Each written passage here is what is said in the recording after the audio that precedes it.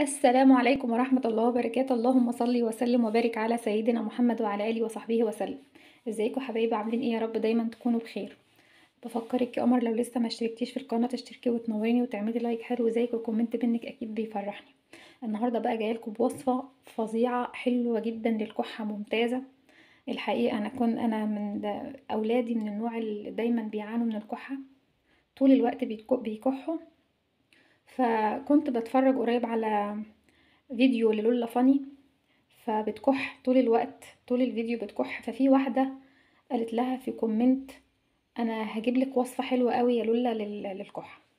فالحقيقة أنا خدت screen لل لل comment اللي هي كتبته وطبقته.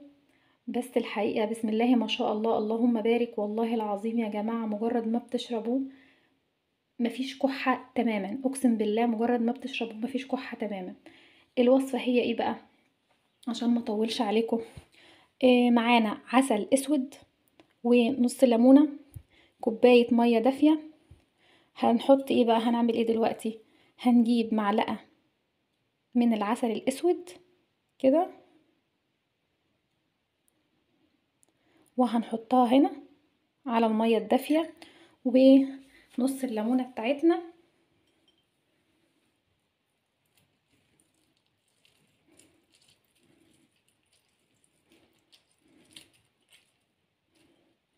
تمام كده. وهننزل بيها. ودوبي ده. كده. لحد ما يدوب تماما. قلبي.